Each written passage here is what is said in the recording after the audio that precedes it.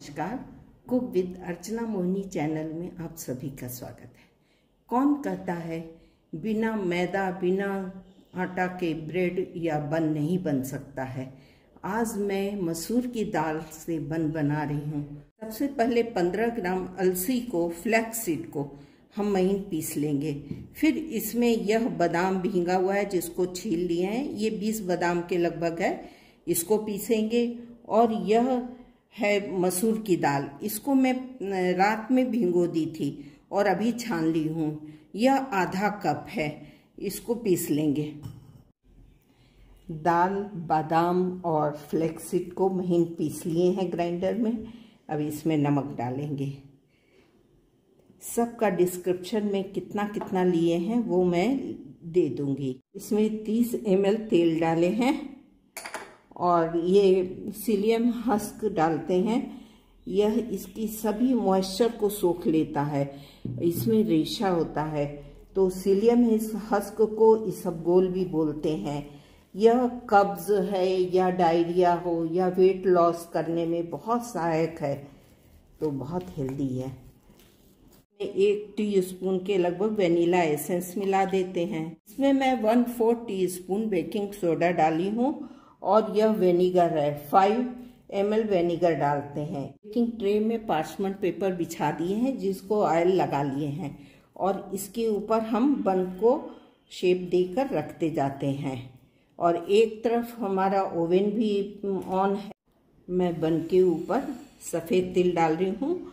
आपकी मर्ज़ी, आप काला तिल भी डाल सकते हैं। सनफ्लावर सीड हो या पंपकिन सीड हो। कुछ भी डाल सकते हैं। गरम हो गया, इसको ओवन में रख देते हैं 25 मिनट के लिए।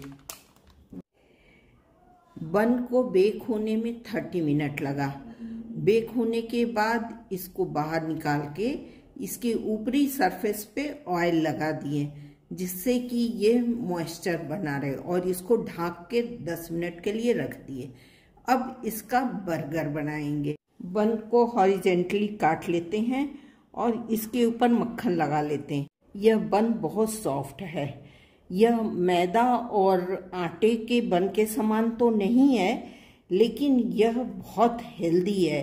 ये इसके इतने फ़ायदे हैं कि इसको उसके संग कंपैरिजन किया ही नहीं जा सकता। यह वेट लॉस में बहुत फ़ायदा करेगा। और प्लस इसको अगर एक बार सुबह खा लेते हैं, एक बन इतनी वेजिटेबल है वेजिटेबल लगा के मेयोनीज चटनी लगा कर खा लेते हैं तो आपका बहुत देर तक पेट भरा भरा सा रहता है।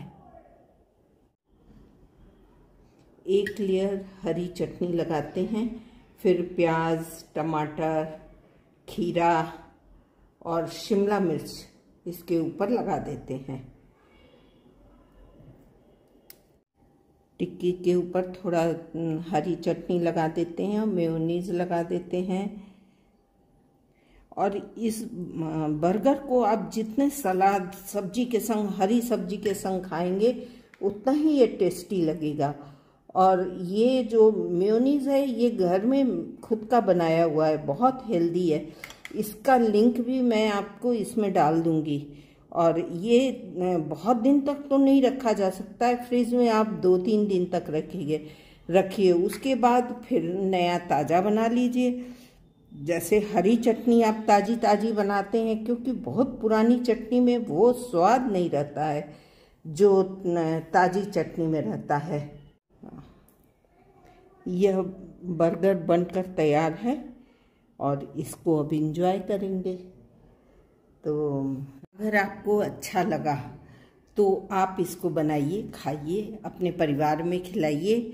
और मेरे चैनल को अगर सब्सक्राइब नहीं किया है तो प्लीज़ सब्सक्राइब कीजिए, लाइक कीजिए, शेयर कीजिए। मेरा मनोबल बढ़ेगा।